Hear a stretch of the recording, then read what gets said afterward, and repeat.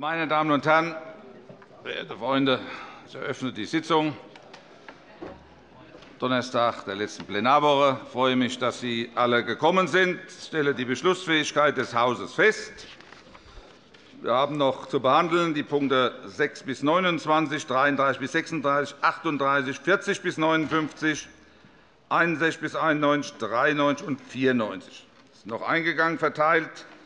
Dringlicher Entschließungsantrag von CDU, BÜNDNIS 90 die GRÜNEN betreffend Evaluationsergebnisse als Basis für die Entscheidung über die Weiterentwicklung des Flughafens Kassel-Calden 19.5775. Dringlichkeit wird bejaht.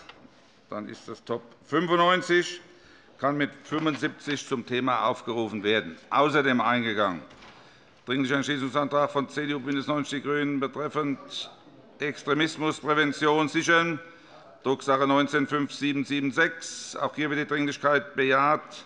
Top 96 kann mit 87 aufgerufen werden. Wir tagen heute mit offenem Ende. Denken Sie daran, eine Mittagspause von einer Stunde. Wir beginnen mit der Abstimmung der Einzelpläne und den dazu aufgerufenen Tagesordnungspunkten und der Abstimmung der zweiten Lesung des Haushaltsgesetzes Danach stimmen wir die Beschlussempfehlung der Ausschüsse zu Petitionen. Gibt es den Wunsch der SPD, dass die Petition 3377 aus 19 getrennt abgestimmt wird, sowie die Beschlussempfehlung ohne Aussprache? Dann geht bitte 3376. Bist du sicher, dass du uns das so gesagt hast? Das wird bezweifelt allgemein, aber gut. 3376. Ja, gut. So, also wir, haben es, äh, wir kriegen es schon hin.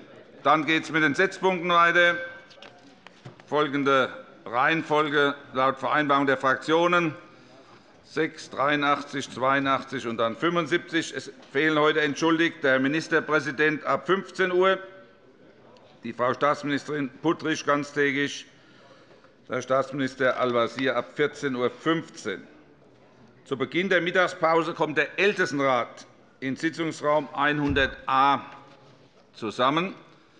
Und Im Anschluss an die Plenarsitzung tagen sowohl der Ausschuss für Umwelt, Klimaschutz, Landwirtschaft und Verbraucherschutz im Sitzungsraum 510w als auch der Innenausschuss in Sitzungsraum 204m.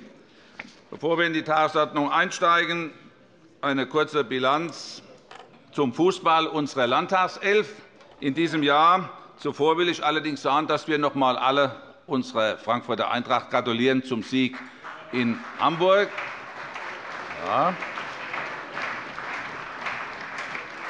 Und äh, wir gratulieren natürlich auch unseren Bayern zur Herbstmeisterschaft. Bitte doch. Ja, wir sind neutral. Also, meine, ja, ja, es gibt einige, die sich öffentlich bekennen. Die Zahl der Bekenner ist äh, intern größer.